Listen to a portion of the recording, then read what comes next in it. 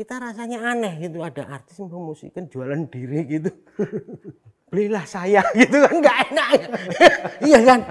Loh coba kamu lihat tuh.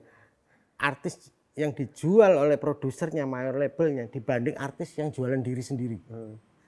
Ca- kamu lihatnya juga beda. Kesannya ya. Meskipun sekarang eranya udah bergeser digital misalkan Om, kan sama aja. sama aja ya. sama aja. Digital itu kan sosmed itu kan booming eh, patah tubuh hilang berganti. Sekarang minggu ini kamu trending. Minggu depan ganti orang lain. Iya, cepet ya Nah, sirkulasi. sirkulasi itu yang membuat apa yang terjadi trending di YouTube sekarang itu bukan ukuran dia artis besar. Gitu loh.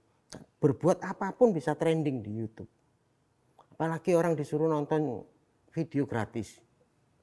Ya seharusnya trending terus kalau Iya. videonya bagus